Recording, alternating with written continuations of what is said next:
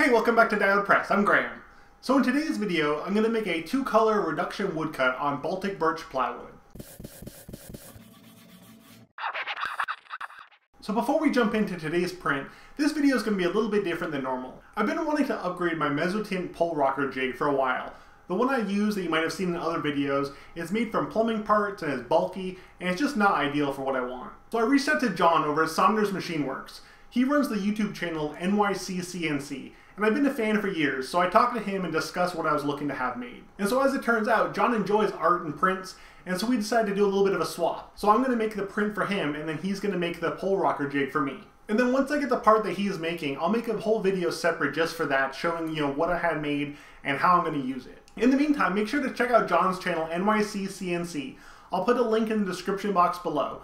He's a great guy and he posts videos from machining to CAD to programming and some electronic videos, and he's really a great part of the YouTube community. So let's go ahead and get this print done for John. A reduction woodcut's from a single piece of wood, or lino if that's what you're using. They take a little bit of planning, but they're pretty straightforward. So first we clear out the material to make our base layer of the image, and then run a print. Now for the next layer, we clear out more of the block and print it on top of that previous layer. Finally, for the last layer, we clear out even more material, ink up the block, and run the final print.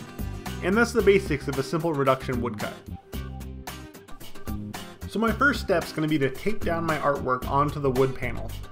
So I did this drawing and then I had it photocopied so you have a toner print on a piece of paper. And it has to be a toner from like a laserjet printer, you can't use an inkjet printer for this process. And then to transfer the toner onto your wood, I'm using a bottle of tea tree oil that I got at the pharmacy. And I've been told that wintergreen oil works, and I've also been using uh, blender markers in my other videos. So I'm just trying different methods to see which one I like the best. And I'll have links in the description box to all the stuff I used in this video.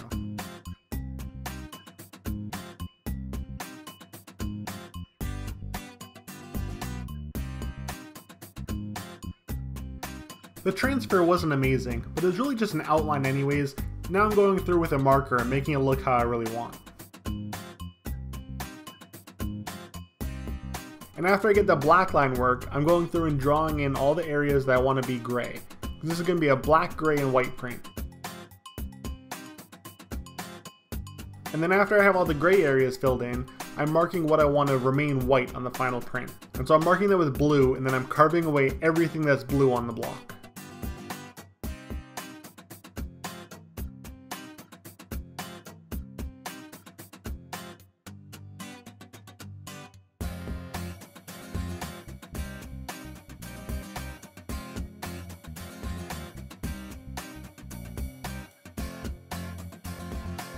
And also if you're interested, I've been doing some live streaming when I'm working on these prints, so I'll put a link in the description box for that if you want to tune in. I usually post on Twitter when I'm going to be live streaming.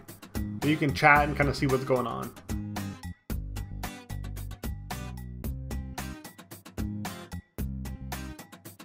And so now I'm done with the main outline and getting all the, the background cleaned out. Now I'm ready to start to move on to the other areas. But before I do that, I need to go ahead and set up the registration area for the paper. So for this block, I'm cutting out a straight line about an inch and a half away from the edge of the board. And I'm using the knife tool to cut through multiple layers of the plywood, and then I'm going to go ahead and clean out right up against that line. And so what that's going to do is it'll give me a perfectly straight edge to line up my paper.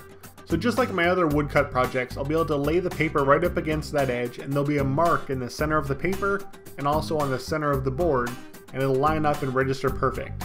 Because with the reduction woodcut, you really want to get the registration as close as possible, since each layer is going to lay on top of the previous layers.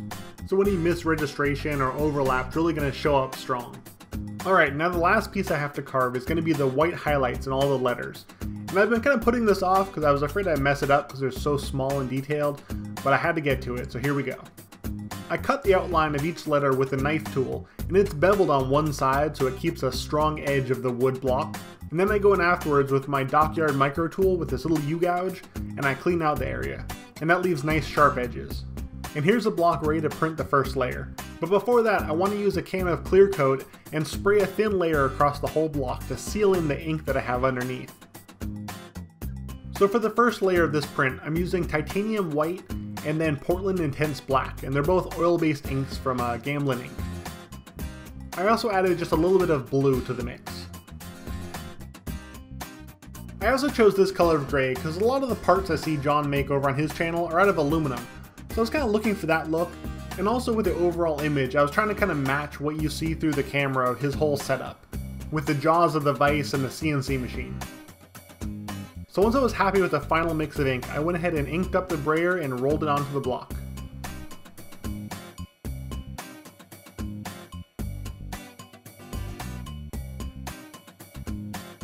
After inking up the block, there was a couple areas I saw where the brayer rolled over and picked up some ink on the block, so I used a U-gouge and cleaned out some of those areas. I want a little bit of chatter or background on this print, but not a whole lot.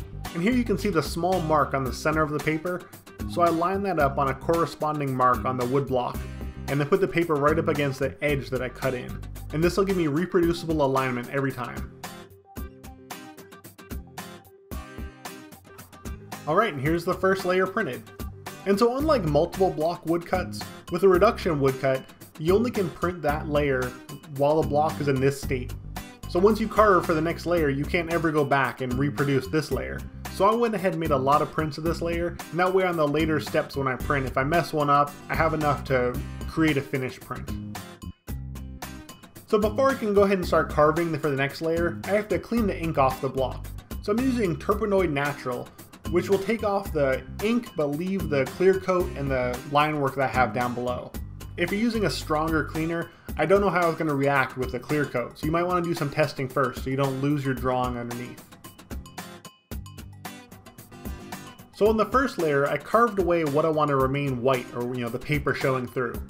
And now for this layer, I'm carving away everything that I want to remain gray, that was printed on that first block. So everything remaining on the block is going to print in black.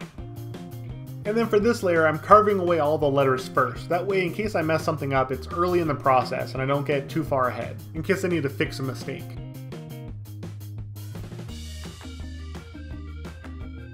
And here in the live stream footage, you can see the camera mounted directly onto the wood. I just screwed a bracket right into the 3 quarter inch plywood. That way when I move the block around when I'm carving, it doesn't change my camera view, it just changes the background.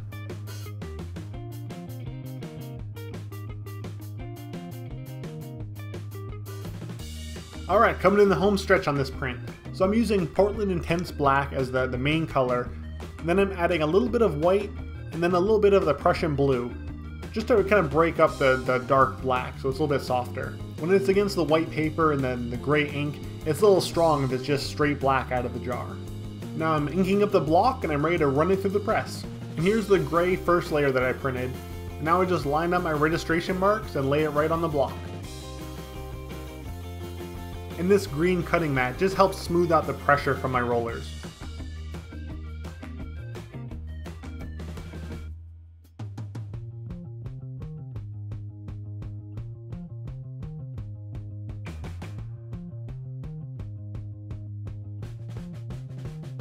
Alright, now peeling the paper off the block for the final print. And here it is, a two-color reduction woodcut. I love the look of loose prints on paper, but never really feels complete until I have at least one that's matted and framed and completely finished.